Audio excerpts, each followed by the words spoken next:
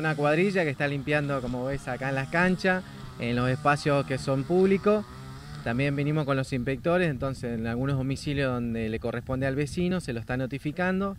Siempre se le da un plazo para que lo pueda hacer.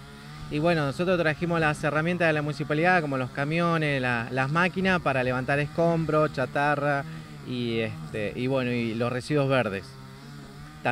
sí. Bueno, no, también los invitamos a los vecinos que se acerquen a la sede, que hemos traído árboles, flores y plantas que quieran adornar el, jardín o, en el frente de su casa.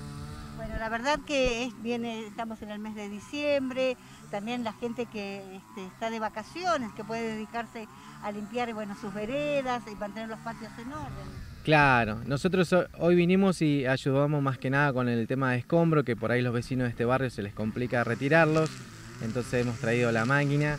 Este, también han, muchos han sacado chatarra, están limpiando sus patios. Bueno, si, si no llegan a alcanzar a pasar el camión en la mañana, va a estar en el transcurso de la tarde. Así que vamos a estar entre hoy y mañana destinados al barrio 28 de junio. Bien, y ahora en la mañana, bueno, ¿hasta qué hora van a andar? Eh, nosotros nos encontramos acá en la sede hasta las 12 y los camiones van a estar aproximadamente hasta el mismo horario y después de las 15 horas van a volver.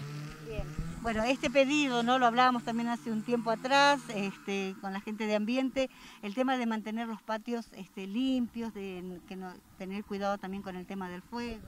Claro, por eso mismo, bueno, destinamos recursos para retirar lo que son los residuos verdes y las ramas, que por ahí mucha gente los prende fuego. Nosotros los invitamos a que se comuniquen con nosotros y los vamos a retirar, ¿no es cierto?